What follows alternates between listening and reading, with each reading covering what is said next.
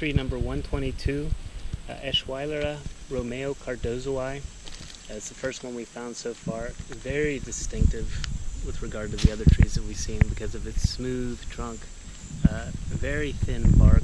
You can see we're right down to the wood when we carved into it, and uh, sort of a mottled pattern of what looks like uh, epiphyllous uh, lichens, and uh, smooth ahoy going up to the top.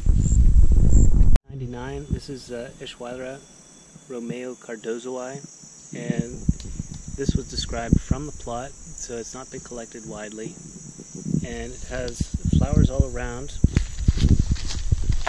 Let's see, we can see these right here. These small yellow flowers, and these are produced in the morning Probably by the afternoon they're falling down, and this is kind of at the end of its cycle, so there are still flowers up there. And um, they'll be great in the morning, be falling in the afternoon, so we're going to try to come back and collect tomorrow morning. It's a really small leaf. The flower, Romeo cardozoi. It's about, um, the androecial hood's about one centimeter, and from tip to tip. The, uh, the petals are about two centimeters. It's got a yellow androecial hood and white petals. Uh, very small leaves, smallest leaves I've seen. Coriaceous. And we have a wood sample for processing. The xylarium.